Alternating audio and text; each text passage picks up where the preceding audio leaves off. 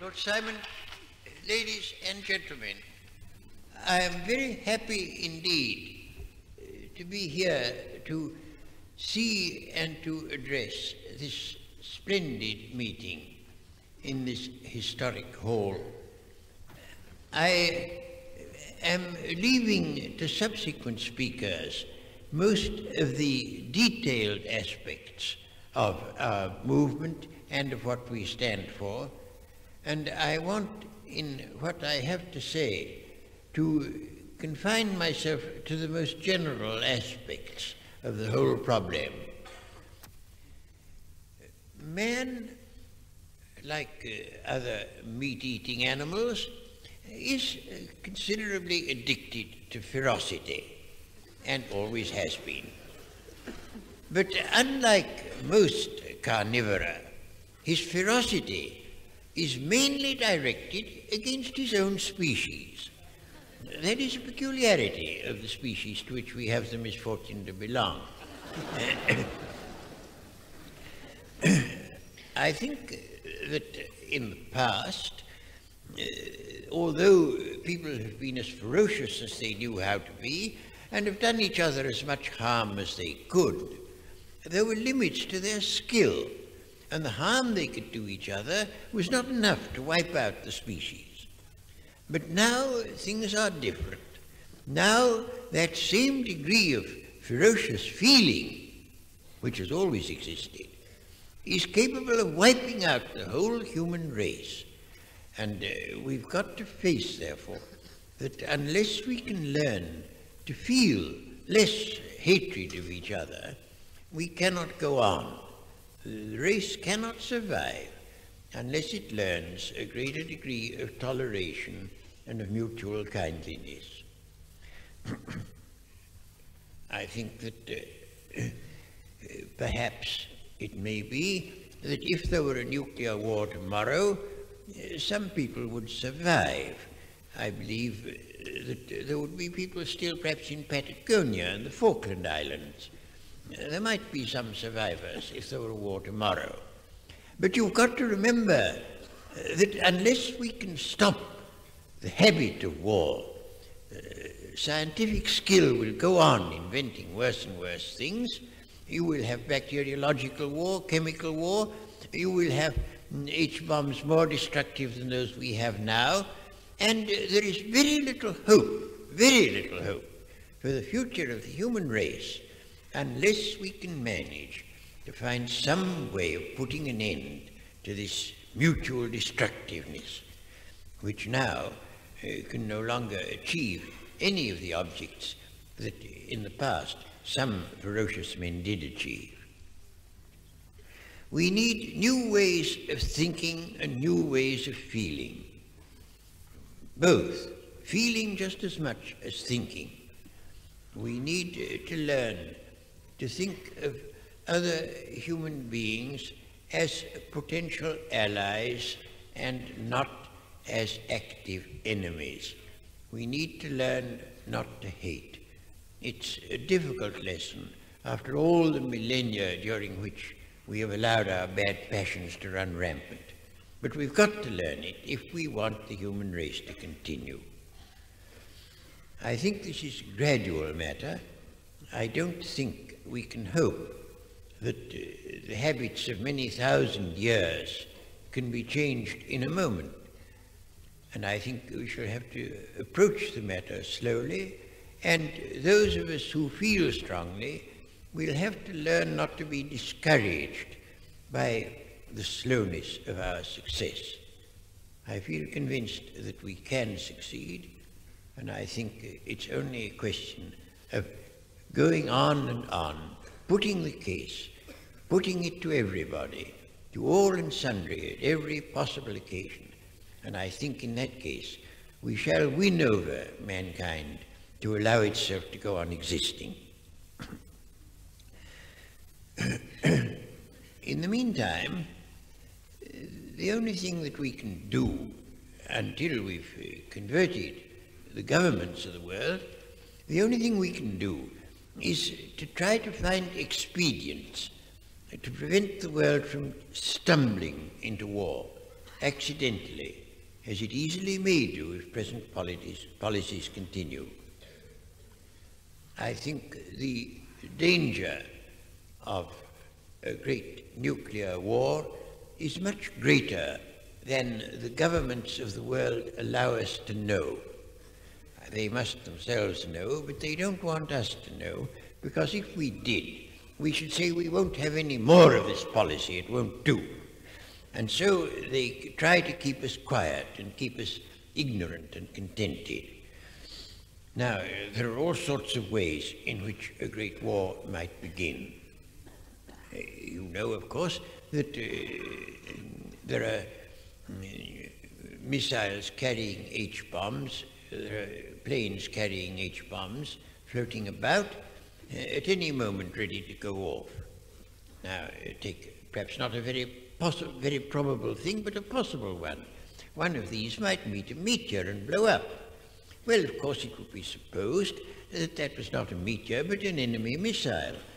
And uh, instantly there would be general nuclear war. It's, uh, the policy is based upon this argument that the attacker will have an enormous advantage, and therefore each side assumes that the attack will come from the other side. We in the West say, oh, we should never attack, never, never. And uh, the Russians say, oh, of course, we should never attack, never, never. But each side thinks the other will. And so we have to have instant readiness. The idea is that everybody must be ready at any moment to fire off an H-bomb and you can't wait for orders from Washington or London or Moscow because it's assumed that they will be wiped out already and that therefore you can't have central direction. And uh, somebody on the spot will have to say, oh yes, go ahead, and uh, then perhaps from an entire misconception, there's a, general war in which we all perish. Now, of course, you will say, well, meeting a meteor is not really probable. I agree, it isn't. But there are a great many other ways in which things might occur. There might, for instance, be a mistake in reading radar signals. That is quite a possible thing, a purely technical mistake, which uh, might uh, make people think that an enemy attack was coming along. Well, uh, there again, they would reply instantly, because it's understood you can't wait if you wait, you will be destroyed yourself. You have to go in at once. And so it might easily happen. Then there's another possibility which I think we must face, and it is this. The people who have the control of these terrible weapons have a constant nervous strain, especially since they've been told everywhere that they can't, in an emergency, rely upon orders from headquarters, but must act on their own initiative. I think that nervous strain is very likely to drive somebody over the edge to the point where he goes a little mad. And if one single man in charge of one of these weapons goes mad, the whole world goes up. It's a terrible risk that we're running from day to day. And uh, I think if people realized how great the risk is, they would say we must have some other sort of a policy. On the contrary, instead of saying, let us make the risks less, the governments of the world are saying, let us make them greater. They're doing everything in their power to increase the risk of general war. I say this quite deliberately because the policy is, at present, to give the H-bomb to other powers besides the three that at present have them. Uh, the H-bomb is desired by France and Germany, by Sweden and Switzerland. Uh, they are all, if present policies continue, pretty sure to have them before long.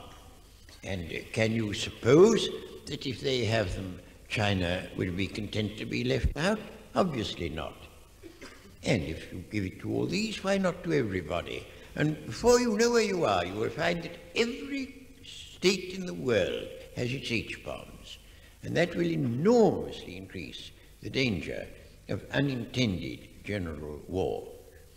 And that is one of the great objects that we have in view to prevent the spread of H-bombs to powers that don't have them at present. And uh, in order to secure that end, we say Britain ought to be willing to give up the H-bomb which it at present has. you will say this, you will realize that there's another danger when H-bombs are spread all over the world. It is the danger of mutiny. In uh, some one of these countries, it is just conceivable that the government may not be wholly wise. Such things have occurred. now, uh, you may get resistance to a government which is not wholly wise. You may get mutiny. You may get resistance to the mutiny. You will, in that way, very likely get the whole war started. I don't know how many of you remember that the First World War was entirely started by a certain terrorist organization in Serbia. And a terrorist organization that got hold of an H-bomb, well, there you are, that's the end. And that is very likely to happen if you allow these H-bombs to spread all over the world. I read uh, an article in the uh, Bulletin of the American uh, Scientists, of the Atomic Scientists, an American magazine which tells you what uh, scientific uh, people in America think. This article is by Professor Auriar, who is professor of physics at Cornell University. And uh, he goes into the question of the risk of war very carefully indeed and concludes that within the next 10 or 20 years, war is much more probable than not if present policies continue. He says our present policy involves a practically infinite risk. I don't think anybody who goes into it can deny that. And I do quite seriously believe, and I should like you all to believe too, that unless the governments of both East and West change their line of policy, the human race will not exist at the end of the present century. I say that quite deliberately, and I think it's a very terrible thing to contemplate. now, you know, uh, governments are optimistic or pessimistic as may suit their purposes. We can't believe the pronouncements of governments. Take this question of the tests. There are two uh, vexed questions about the tests. The one is how much harm is done by fallout, and the other is how possible is it to detect tests. Now, on the former question, the governments are optimistic. They say, oh, it doesn't do very much harm, you know. Of course, yes, uh, we, some uh, thousands of children will be idiots, but uh, after all, what of that? We can't be bothered with a little thing like that. And they take altogether a very optimistic view about the uh, harm done by fallout. But when you come to the detecting of tests, they take a pessimistic view. They say, oh no, I know that the scientists all agreed that you could detect them, but what of that? We can't believe what the scientists say. And uh, so on that, they're pessimistic. And they always take the view that encourages mass murder. It's a terrible thing about governments, but they will not believe the things that are necessary to believe if you're going to take sane measures to prevent this appalling holocaust with which we are threatened. we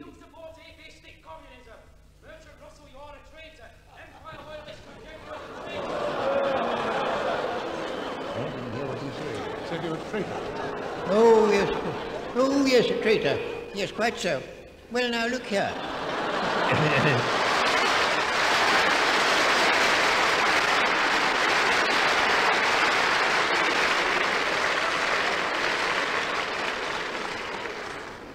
Who do you think is the greater traitor?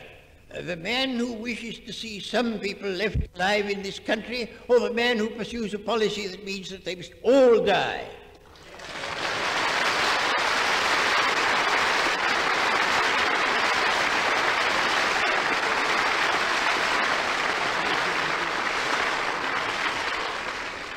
No. If there are any traitors, it's the, the, people who want us to go on with this suicidal policy, not the people who want it stopped. we have to stop all war, and that is a thing that people have got to realize. Even if we had the immeasurable measure of success, that we got all H bombs, all atomic weapons destroyed, and an agreement to inspect each other so that they weren't revived even then, if a war should break out, each side would, of course, at once set to work to manufacture nuclear weapons.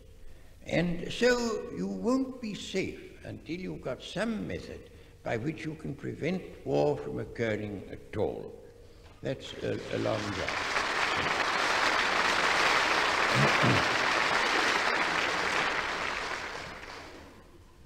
Some people say, and I dare say the gentleman who accuse me of being a traitor might be one of them, uh, some people say that it's a cowardly thing to want to survive.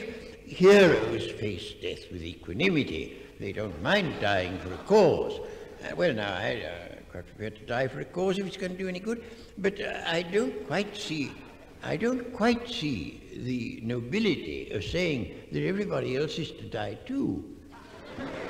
That seems to be.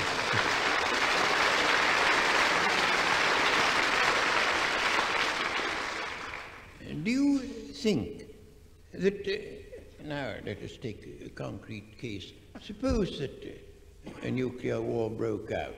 Well, it's pretty certain that they would spare at least one bomb from Manchester. And uh, if a bomb were dropped up in the center of Manchester, Mm, everybody who was in the street would be killed at once.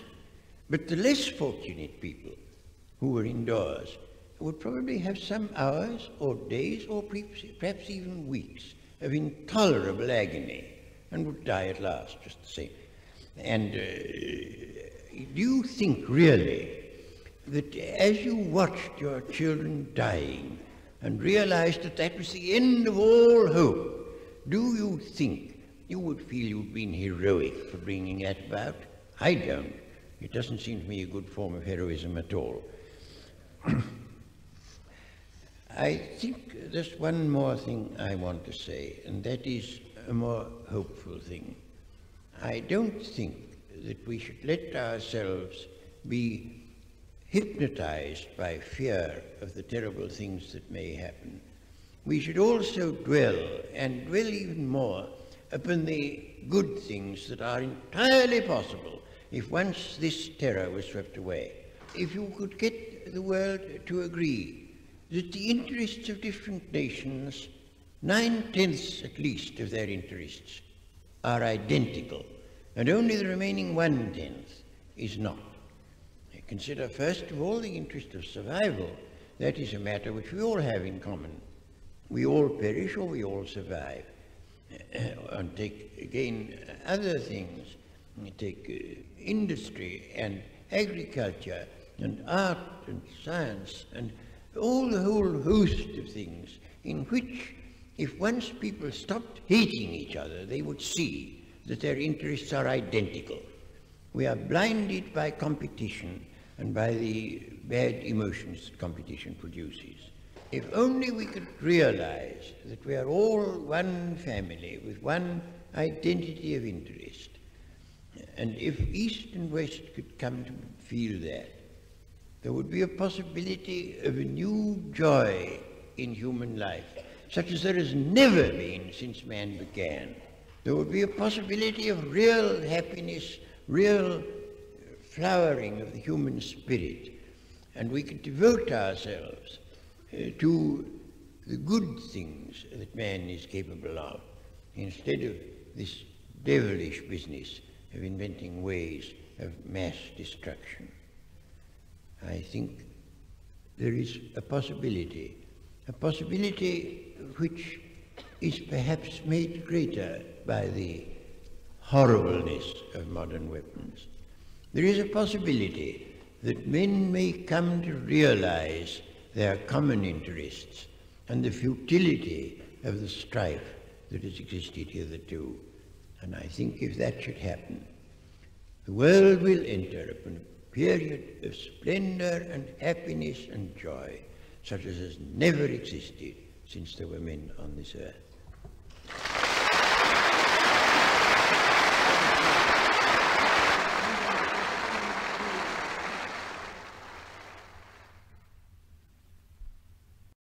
Every man and woman in this great audience tonight has to answer this question for himself herself. Are you prepared personally to go up in a V bomber and launch a hydrogen bomb or launch it by pressing the button on a rocket?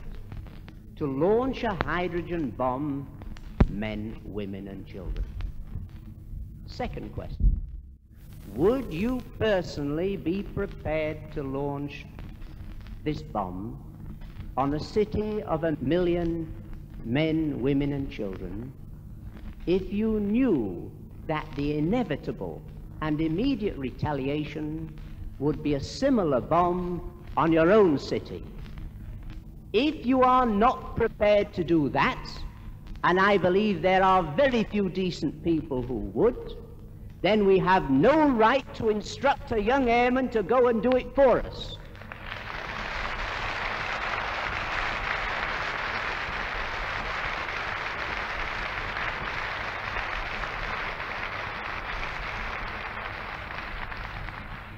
I have been driven to this conclusion that the world is waiting for one great power to have the courage and sanity to say, whatever you do, we are contracting out of this suicidal race in H-bombs. We will test no more. We will manufacture no more. And we will hand over to peaceful atomic purposes the fissile material in the bombs already made.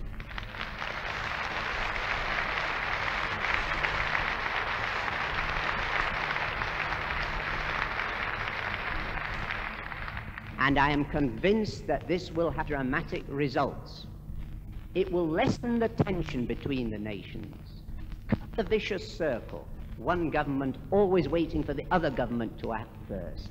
It will create that atmosphere in which it is possible to reach agreement. And when we hear people talk about making Britain great, failing to realize you can't make Britain great any longer in the military sense, we want to see Britain great too, but great in the way of bringing the nations towards peace. That is the way in which Britain can become great.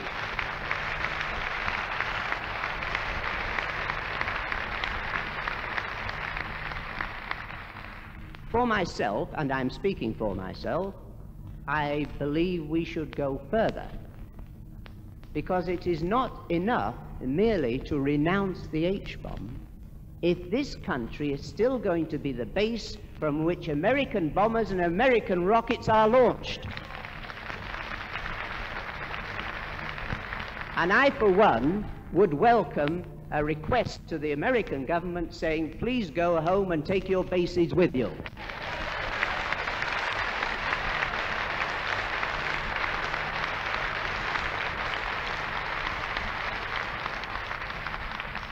However, we are realists, and any progress in the direction of nuclear disarmament we should welcome with our whole hearts.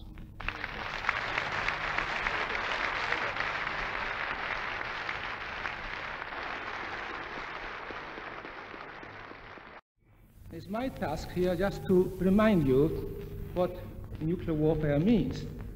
It's now a matter for all of us. Because should there be a nuclear war, every one of us will be the victim.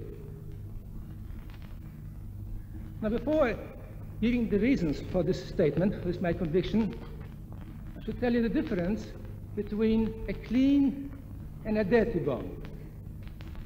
I think that the very fact that we are using an adjective clean to describe a weapon which can only kill and maim millions of people is by itself an indication of the level to which we have sunk.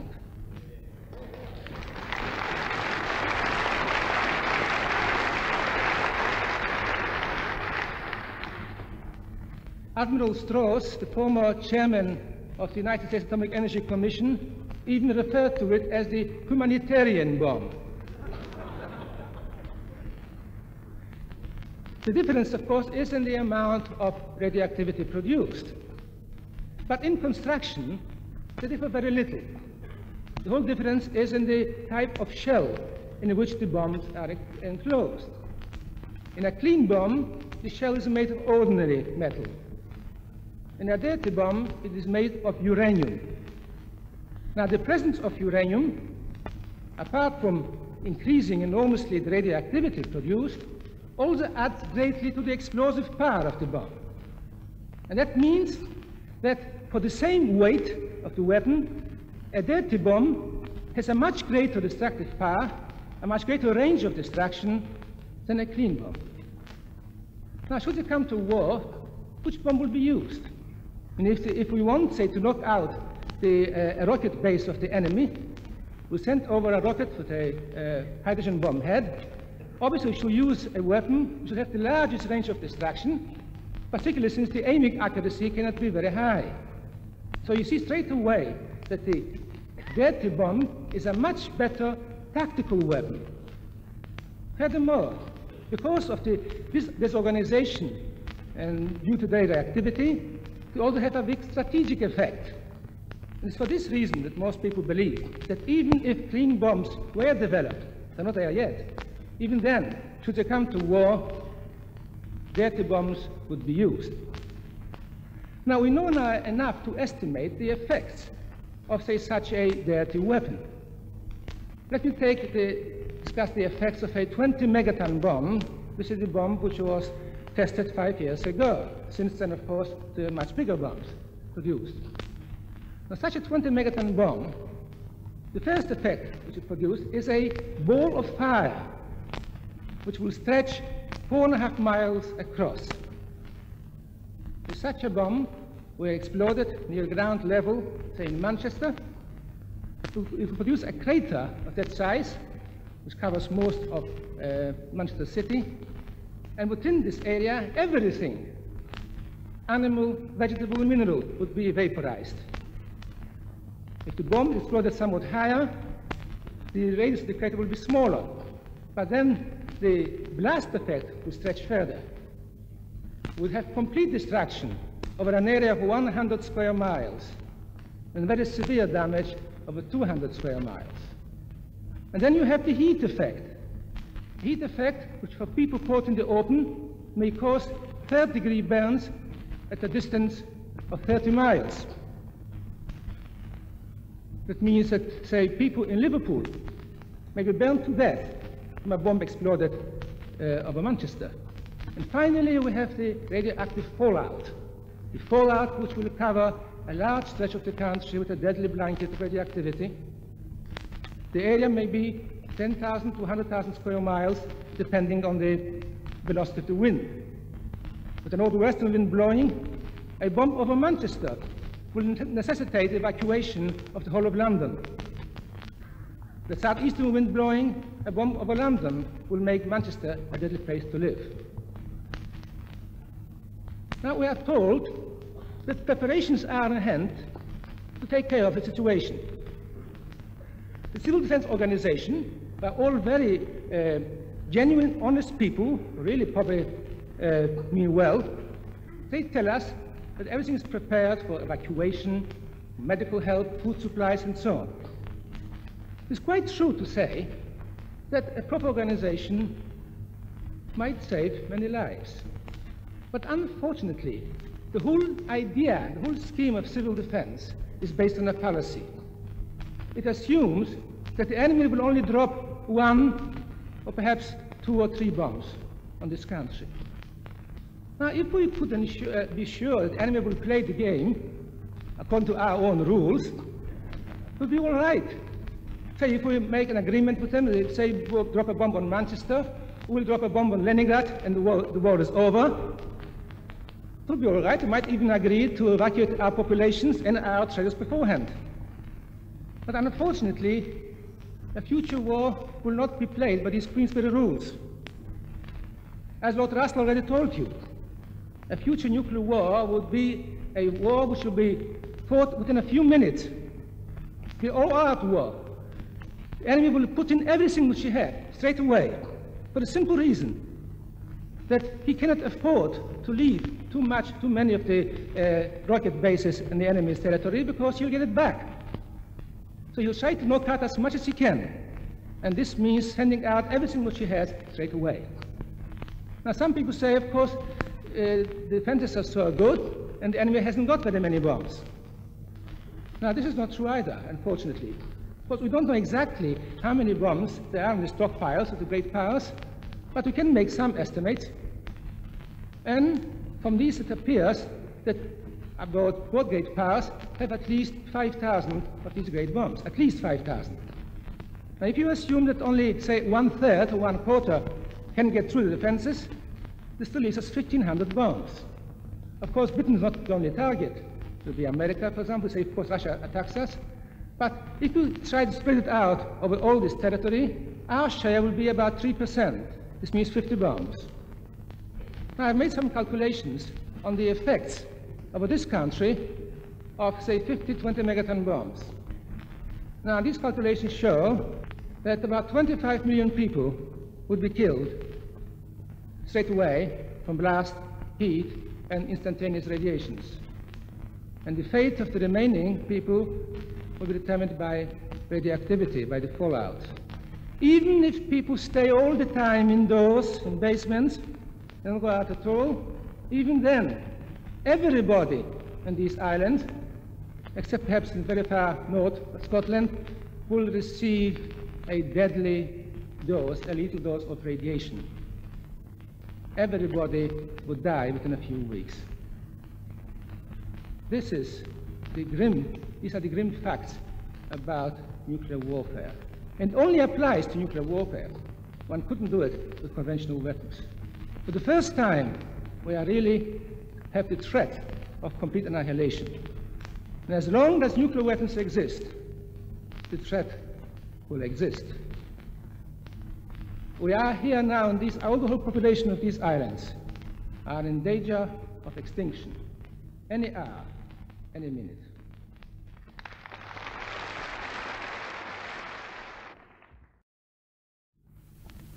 Chairman, I, like many others who have been speaking on this subject in different parts of the country, am afflicted with a great sense of inadequacy in trying to deal with it.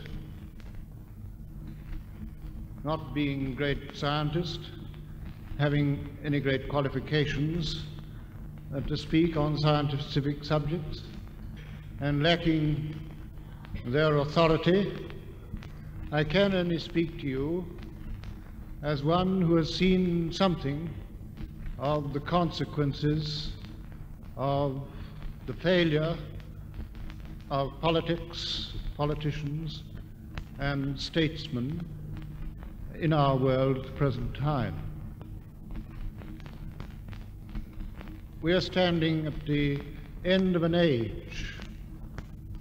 We're facing the beginning of a new era in, in the life of mankind.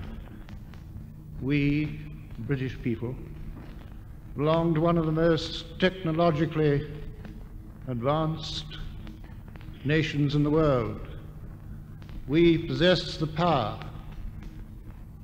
which only two other nations in the world possess the power to decide fate of man, whether for good or for evil, the use of this great discovery.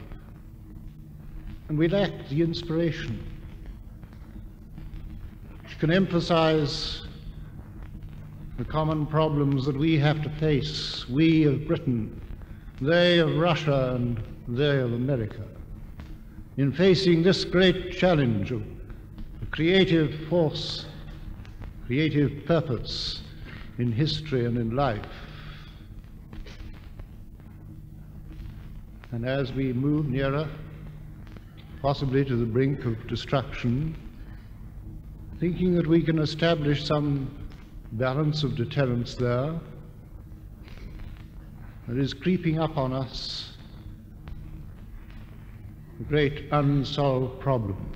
The geometrical progression of the increase of the world's population. Every year, that population increases by the whole population of London, New York, Rome, Calcutta, 50 millions every year. So that by the end of this year, the end of this century, the population of the world will approximately have doubled itself.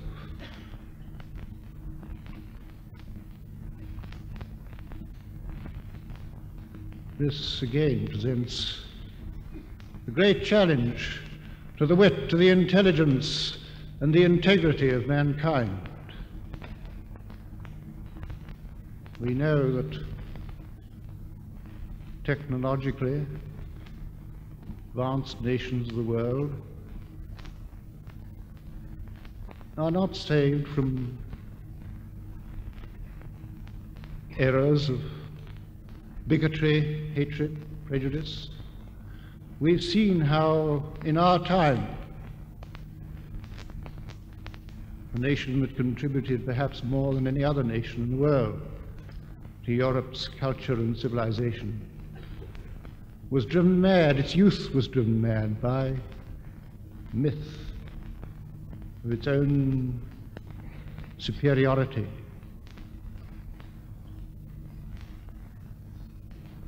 And how the youth of that great nation was led away as though by some demoniac Pied Piper of Hamelin,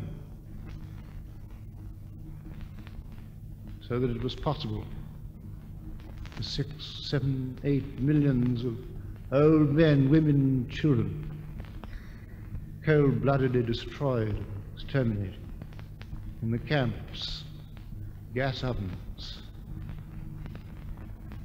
We live too close to this thing. Happened in our time, and we have an instinctive fear that it could all happen again on an even worse scale. Unless we can find the solution to these basic problems of our future existence on this planet.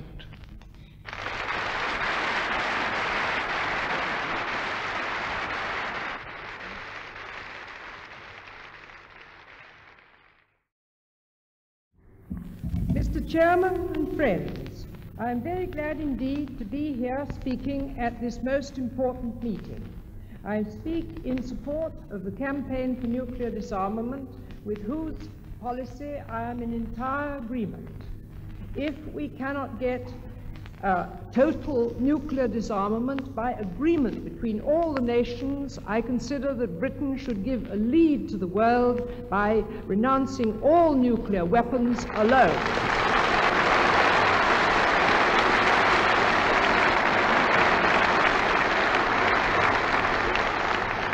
Radiation whatever its source, is harmful to all living things. A big enough dose will kill within a few hours. A smaller dose will induce a disease now known as radiation sickness, which begins as vomiting and diarrhea and may progress to fever and delirium and a long-lasting anemia. If the patient does not die, recovery, even with expert nursing and every form of drug and blood transfusion, may take weeks or months. The course of this disease was first understood after the bombs in Japan. Cancer, as you know, is another hazard from radiation. It can develop years later, either from a dose of external radiation like X-rays or from the deposition of radioactive material in the body, such as radium, such as strontium-90. And perhaps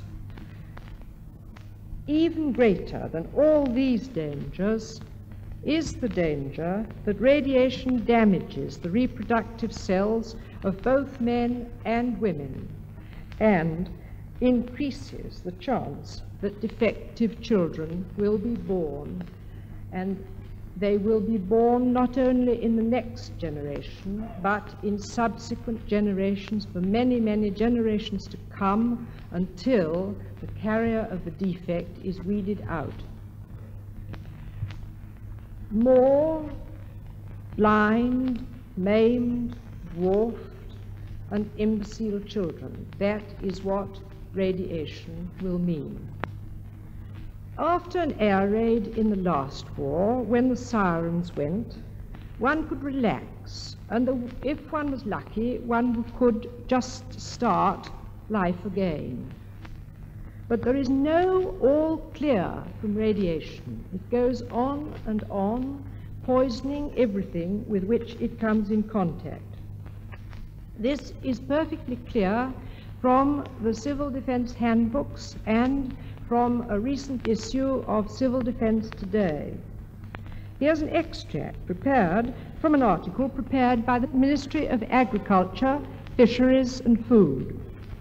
After a nuclear attack, they say, we should, at least for the initial period, think in terms of isolated communities and people having to fend for themselves with such food resources as may be available and they say starvation would become the most potent enemy. For, as they point out, animals are at hazard in the same way as human beings. And although the flesh of beasts suffering from radiation sickness, provided they're not in the last stages, is fit to eat, yet the milk of dairy cattle is quite a different matter because it will contain both radioiodine and radiostrontium and will be unfit to drink. Now remember Windscale, that accident, so tiny in comparison to an H-bomb, where the milk of all the cows on surrounding farms had to be thrown into the sea for six weeks after the accident because it contained radioiodine. Again, another quotation. Large tracts of the country would be covered by the radioactive dust, which, quite apart from its lethal effects, would hamper the movement and, and transport from one area to another. And as the chief constable of Nottingham said, it might be anything up to a year before the public would be allowed to enter some areas where there had been heavy radioactive deposition. That's an optimistic statement, as you can tell from uh, Professor Rotblat's report. What a black, what a terrifying picture of England, of Europe, of America, of Russia. Is it true? It's official, as I've shown, and it's true. Now, why do I say all this beastliness? I say it because I think if we know the facts, we can do something. First, we can support the campaign for nuclear disarmament. Second, we can each one of us make our views clear to our MP and to our local authorities. Write to your MP.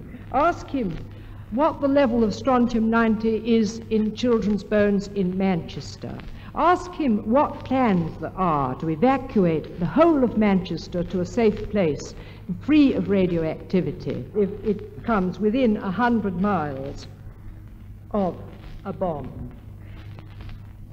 And finally, if you consider that Britain's greatness and Britain's safety do not depend on our ability to murder a hundred million Russians at the drop of a switch, Say that to your MP and say to him that you do not, under any circumstances, want Britain to use or to have these frightful weapons.